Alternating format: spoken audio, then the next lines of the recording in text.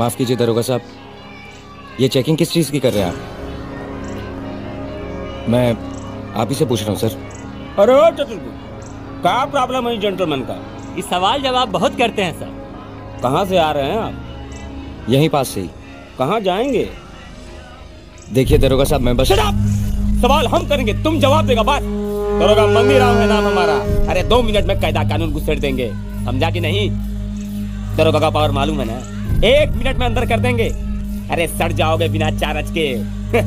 यही खड़े खड़े सब सूट पैंट गीला हो जाएगा। मैं तो सिर्फ़ पूछ रहा था कि किस चीज़ की चेकिंग हो रही है? बहुत दिक्कत होती है पैसेंजर्स को। अरे चतुर्भुज! सर ले चलो इसको। इसका खिलाफ लिया जाएगा। बात का देवता नहीं है। रात का भूत है ये। एक मिनट एक मिनट। आप अरेस्ट कर रहे हैं मुझे? तो का आरती उतारे आपका? अरे क्या कर रहे हो? पागल हो गए हो क्या?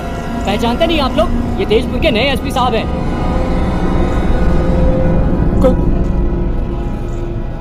भारी मिस्टेक हो गया सर एकदम बलंडर हो गया। साला आप है एकदम। साहब को भी नहीं पहचानता है।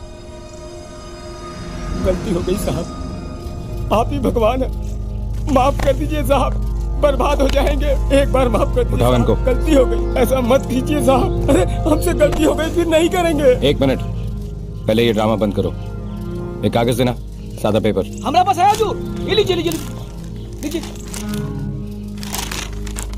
सब इंस्पेक्टर मंगनी राम जी। आप मुझे अपना स्टेटमेंट लिख के दीजिए कि मैं आपको सस्पेंड क्यों ना करूँ। समझिए साहब। जितना रोगे दरोगा मंगनी राम उतना ही ज़्यादा लिख के देना पड़ेगा। माफ़ कर दीजिए साहब अरे साहब मेरी मती मारी गई थी साहब।